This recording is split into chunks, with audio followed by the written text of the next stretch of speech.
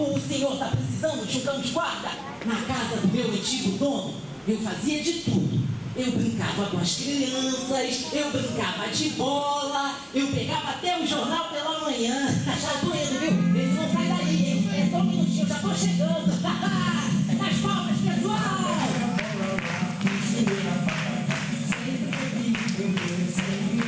Conhece a Ginoveva? Vocês conhecem Ginovella? Mas senhor burro, todos aqui conhecem a Ginoveva. É uma burra.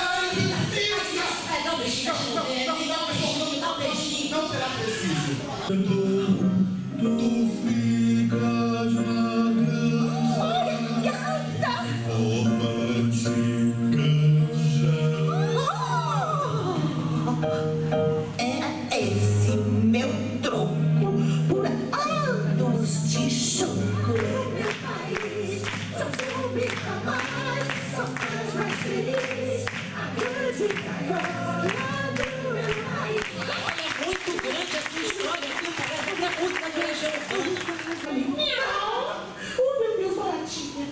Ai, você tá onde? Ah, lá, lá, lá, cuida, Deus. Cachorro, pare, pare,